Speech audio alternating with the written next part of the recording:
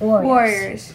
And we're gonna teach you how to make a square out of origami paper. Well, no, out of printer paper to make origami paper. If you don't have any origami paper at your house, the first step is you fold. Like you take one side and you fold it to the other side.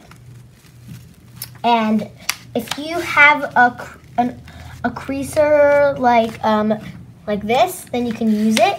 It helps a lot. Okay, the next step you take the one you take this overall flap and you fold it behind.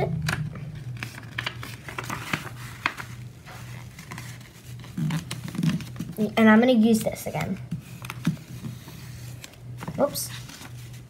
For a square to be perfect.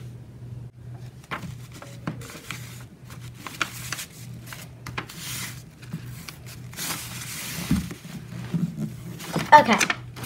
Now I want you to open this flap up. Take this, fold it in.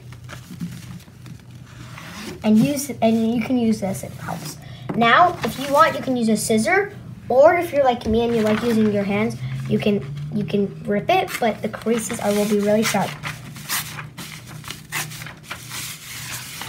And there you have it, guys. That's the origami square out of printer paper.